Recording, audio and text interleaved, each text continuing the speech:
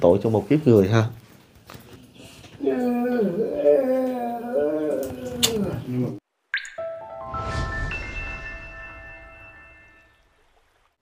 Bây giờ thì uh, uh, theo Bùi Hồ được biết thì ở đây có tổng cộng là khoảng 20 20 hộ dân. Và số dân ở đây á, cô bác quý anh chị biết không? Chắc có lẽ là các bạn ở lớp trẻ sau này á, cái căn bệnh này được điều trị rồi.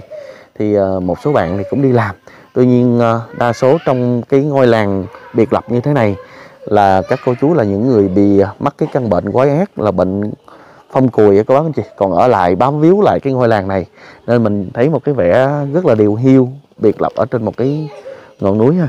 Còn bây giờ mời cô bác anh chị qua đây thăm một ừ, ông bà cụ cũng khá là đặc biệt luôn.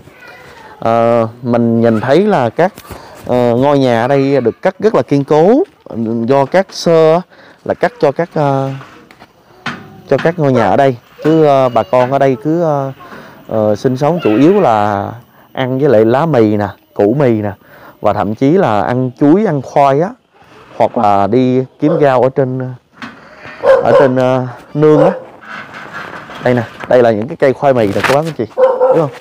Những cái cây khoai mì này á các cô chú ở đây á, sẽ ngắt những cái lá như, ngắt những cái lá như thế này sau đó chà ra rồi có thể xào lên mình thấy là đây là một những cái lá rất là nhẫn mình ăn rất là nhẫn đúng không? Nhưng mà đây là cái nguồn thức ăn chính của à, đồng bào cô chú đồng bào gia gai ở ngay tại à, à tỉnh Trường Gông của tỉnh Gia Lai ha.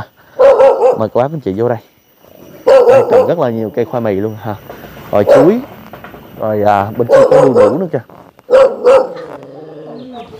Đây là một hoàn cảnh khá là đặc biệt khi ông bà cụ lớn tuổi không có con ừ, bị uh, uh, mấy cái chi á bị uh, rụng mất dần mất hết mấy cái phần chi rồi kể cả những cái đầu ngón tay này nữa nè.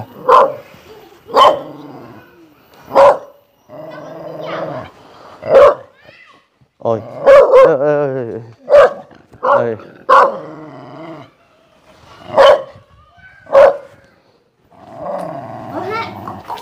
rất là tội tội luôn nha cô bác anh chị.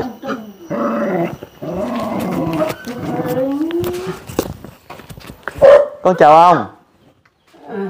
Con chào ông. Ừ, con chào bà. Ông với bà là bị bị lãng tay rồi cô bác anh chị. Cái cái tay của ông á nó những cái phần ngón tay á nó bị biến biến dạng hết rồi. Còn cái phần ngón chân á thì không còn một cái ngón chân nào cả. Đôi mắt thì nó đang bị ăn sâu vô luôn rồi còn bà thì hai cái bàn chân một cái bàn chân bên kia thì thì không còn những cái ngón chân nữa. cái phần bên đây thì mất luôn cả cái phần chân trên này nữa nè.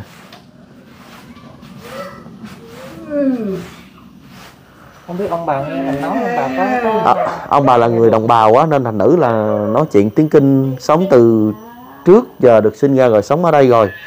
Ít tiếp xúc với bên ngoài ngoài á rồi bị biệt lập rồi ừ, như là bị cô lập ở trên này luôn nè rồi cái thành nữ là không có đi đâu không có biết tiếng kinh gành luôn. Nhang.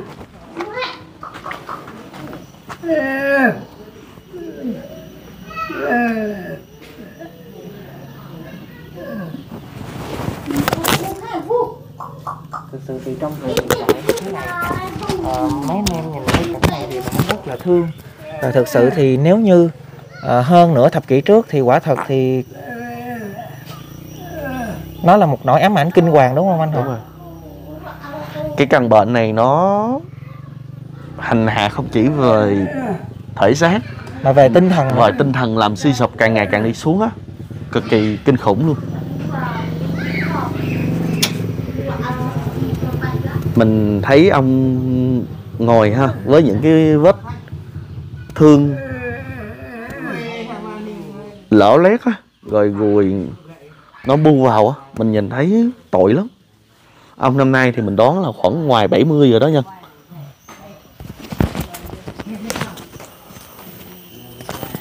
Ông không có biết tiếng kinh của anh chị. Ông ơi! À, nếu như một cái thước phim mà chỉ quay đứng ở ngoài thôi thì nó sẽ không cặn kẽ về cái cuộc sống thực tế của ông bà cụ ở đây. Thôi thì bây giờ bùi hồ cũng mạo muội uh, vô đây ha. Ừm, ông bà thì không có biết tiếng uh, tiếng kinh đó nên mình sẽ em vô được đúng không anh? À. mình nhìn ông nghe những cái tiếng âm thanh mà ông ông hét lên á. Vì cái không nói được thành lời đúng không nhân? Trời ơi trời.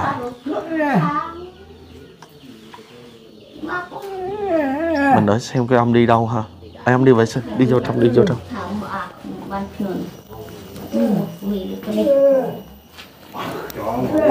Đây là cái nơi mà ông cụ ngủ ở trên cái cái ghế này nha cô bác anh chị.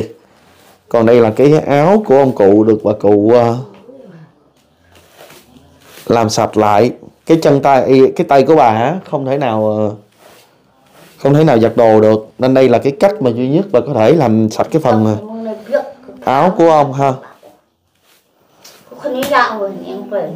gần à, năm sáu chục năm mà cái bị căn bệnh này à, nó hành hạ đau đớn cả về thể xác tinh thần thì cô bác anh chị biết là nó tội đến như nào rồi.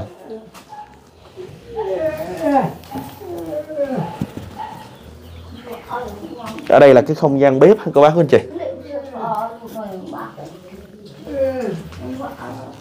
Bên đây là nấu củi. À, bên đây có nấu nước nè. Đây là đồ ăn của ông đúng không? Trứng kiến bộ đen. Đúng rồi. Đây được ít thịt đây là nồi cơm. Cũng là nồi cơm luôn. Đây là cá cá suối. Và duy nhất một chai dầu ăn. Cái không gian bếp của nhà ông bà cụ á là đa số là nấu bởi cái uh, bếp củi ha.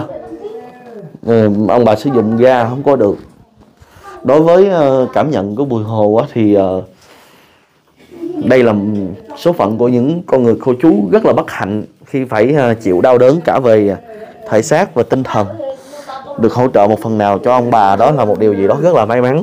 Ở đây thì mình có thể là hỗ trợ gạo nước tương dầu ăn rồi sò bông gọi em có có thể quay em có thể quay nhìn ông ông hồ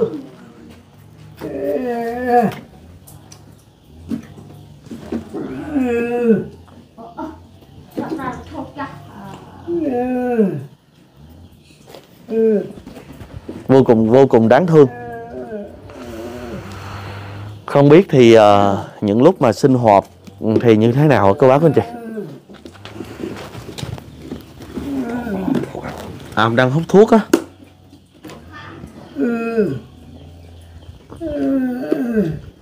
ông đang hút bằng một cái ống tẩu.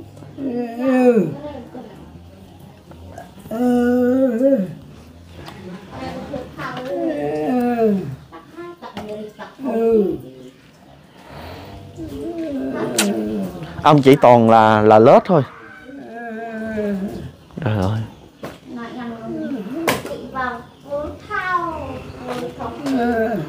Thật ra là mình không không có tưởng tượng được là cái kiếp người nó lại khổ đến như vậy luôn. Tận công có nỗi đau luôn.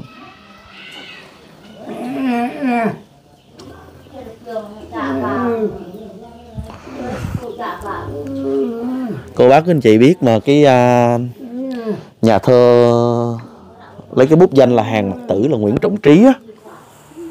Ờ, ờ, ông được một thời gian dài điều trị ở ờ, trại phong Quy Hòa ở Quy Nhơn của Bình Định á sau đó thì ông bắt luôn. Ông có những cái câu rất để lại đời đó là cái những cái câu thơ đó là ai mua trăng? Những cái nhạc sĩ viết bài về ông á ai mua trăng tôi bán trăng cho. Thì đối với những cái căn bệnh phong cùi như thế này á thì có thuốc uống thì giảm đau. Tuy nhiên mỗi khi mà tăng lên á thì cái căn bệnh này nó hành hạ càng nhức càng nhiều lên, lên nữa. Nên từ đó các nhạc sĩ có viết về uh, nhà thơ hàng mặt tử Nguyễn Trung Trí á là có bài có cái đoạn là ai mua trăng tôi bán trăng cho vì khi mà trăng lên là nỗi khiếp sợ đối với những cô chú mà vướng phải một cái căn bệnh phong cùi như thế này. Và trước đây thì người ta gọi là phong cùi có, có khi mình gọi là cùi hủi là có nghĩa là mắc cái căn bệnh này rồi bị cùi á rồi bị mọi người hát hủi luôn bị mọi người xa lánh nên người ta gọi là căn bệnh cùi hủi. Và một phần nữa là mình có một số người á người ta gọi là cái căn bệnh của quỷ. Vì cái căn bệnh này khi mà vướng phải á, thì ăn mắc những cái phần chi này hết nè.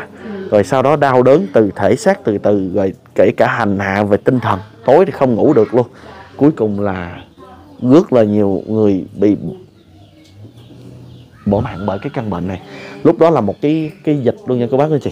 Nên ở ở Gia Lai cũng còn vài một cái là theo bạn của mình chia sẻ là bằng hiển á thì ở Gia Lai cũng còn nhiều cái làng uh, mà bị uh, biệt lập như thế này mà mình chưa thể hay biết. Cũng mong rằng là sẽ kết nối và chia sẻ được những phần nào về uh, về tinh thần để hỗ trợ cho bà cô chú. Còn về thể xác thì đây là một cái căn bệnh mà số phận phải gánh chịu rồi. Mà cũng may mắn là bây giờ cái căn bệnh này được đẩy lùi rồi. Thành nữ là các đứa bé ở đây khi mà được sinh ra nó đã được điều trị bệnh thuốc từ nhỏ nên thôi nên bây giờ cũng đỡ hơn. Bây giờ vô coi ông đang làm gì ở trong á. Ơi thôi ơi ơi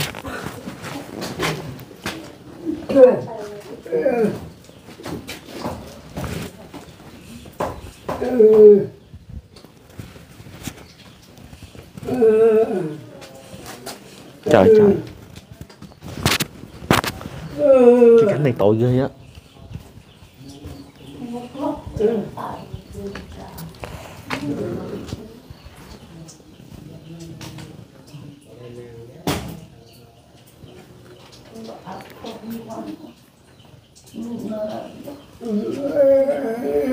ông có thấy đường đốt không? Không không. Mắt hư rồi mắt ăn hết hai con mắt nhưng mà quen nè chuyện gì sống quen nè đây là những cái uh, cửa của nhà của ông rất là nhỏ nhưng mà vì cuộc sống á quen rồi nên ông đi theo cái cái lối mòn cũ á cô bác anh chị nhìn ông mà mình mình không kìm được nước mắt rồi mình cảm thấy là mình mình may mắn hơn rất rất rất nhiều người. Coi ông nh, nhóm lửa kìa. Trời ơi.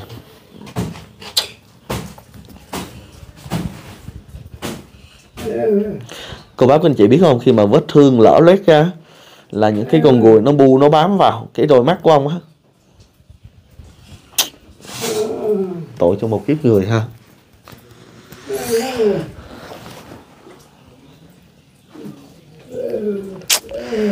Thôi chắc có lẽ là để cho ngợp lắm. Ở đây kho, cái không gian bếp của nhà của ông nó ngợp lắm.